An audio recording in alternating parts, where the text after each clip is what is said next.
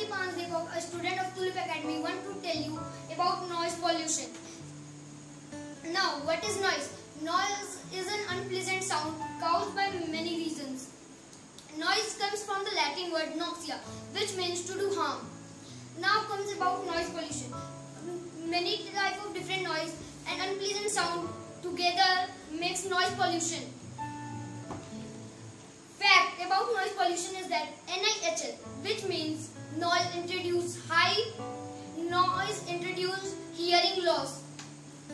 It is a disease caused by noise pollution and many more things are caused by noise pollution. Consequences and effects of noise pollution are not consequences of noise pollution are it is caused due to loud speakers and switching on it at night, making a radio and television on high volume and many more. Effects of this are high temper, high temper, anger, high temper, anger, lack of sleep and other type of disease.